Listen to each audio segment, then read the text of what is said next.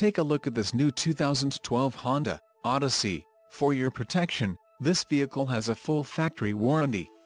This vehicle gets an estimated 18 miles per gallon in the city, and an estimated 27 on the highway.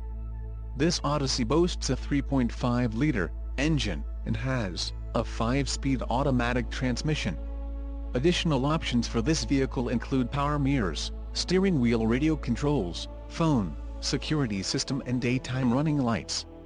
Call 888-739-9159 or email our friendly sales staff today to schedule a test drive.